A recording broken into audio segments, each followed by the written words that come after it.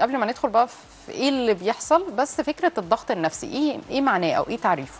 هو الضغط النفسي عموما هو الألم النفسي اللي الواحد بيحسه نتيجة الضغوط. مم. يعني التعب أو الإعياء اللي الواحد بيحسه نتيجة المسؤوليات المحطوطة على كتفه طول الوقت. مم. وطبعا له حاجتين له جزء داخلي وجزء خارجي. okay. يعني إحنا طول الوقت محاطين بضغوط في أشغالنا في علاقاتنا في حياتنا. طول الوقت عندنا حاجات نعملها وورانا مسؤوليات. مم. وفي جزء تاني هو إدراكي للضغط عامل إزاي. أنا من جوايا بشوف الأمر إزاي. okay. وطبعا في جزء منه صحي اللي إحنا محتاجينه عشان نتحرك.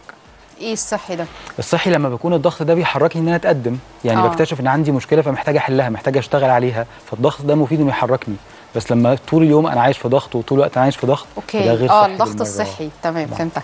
طيب هل في أنواع للضغوط ولا فكرة إن أنا أكون مضغوطة نفسيا بيكون ليها سبب واحد أو يعني حاجة حاجة داخلية واحدة هي اللي بتحصل لا جوايا؟ طبعا طبعا أكيد ليها أنواع. ليها مم. أنواع وكمان إدراكنا و... وإحنا تفاعلاتنا مع الضغط مش زي بعض. مم. يعني مش كلنا بنستجيب للضغوط زي بعض. في ناس بتعرف تتعامل عندها آلية للتعامل مع الضغوط فبتتعامل بشكل أهدى شوية.